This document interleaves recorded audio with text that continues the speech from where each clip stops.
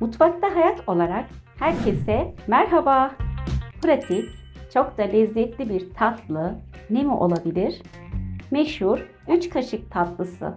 Malzemeler 3 yumurta, 3 tepeleme yemek kaşığı toz şeker, 3 tepeleme yemek kaşığı un, 3 tepeleme yemek kaşığı irmik, 1 yemek kaşığı hindistan cevizi, 1 paket vanilya, 1 paket kabartma tozu, 3 yemek kaşığı süt, 3 yemek kaşığı sıvı yağ, şerbeti için 3 su bardağı süt, 1 su bardağından biraz eksik toz şeker, üzeri için limon, hindistan cevizi.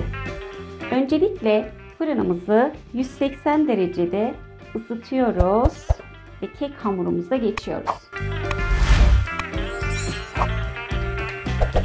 3 tane yumurtamızı kabımıza alalım.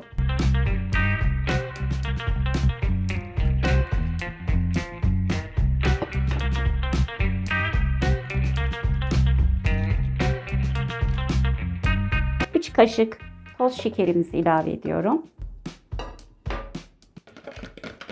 Yaklaşık 5 dakikaya yakın güzelce köpük köpük olmasını sağlayacağım. Güzelce köpürdükten sonra iyice çırptım. Üzerine süt ve 3 kaşık yağımızı ilave ettim. Şöyle hafif karıştırdım. Tekrar un, irmik, hindistan cevizi, kabartma tozu, vanilin ilave ediyorum.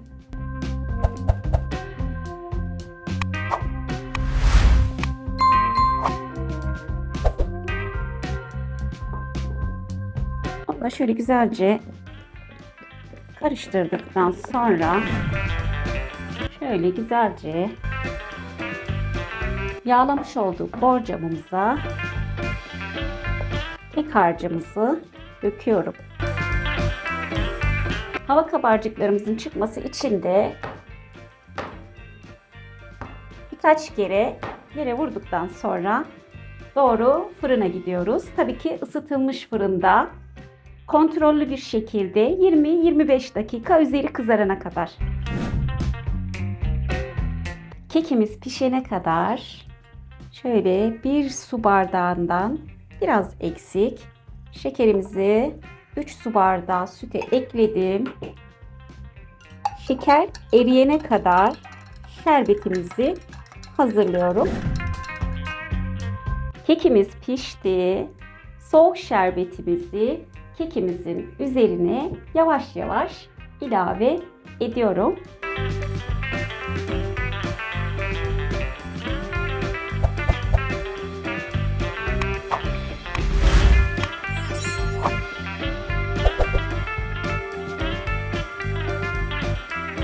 İsteğe bağlı tatlınızda traliçeye de benzer kremalı sos, krem şanti de yapabilirsiniz.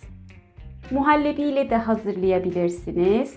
Pasta kreması yapıp krem şanti ile üzerinde şekerlemeler, çikolatalar, yeşil fıstık, meyveler, ceviz, fındık gibi taşlandırılıp çeşitli pastalarda olabilir.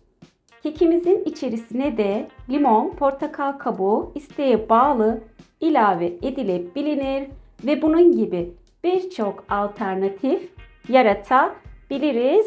Şimdi güzelce yarım saat dinlendirip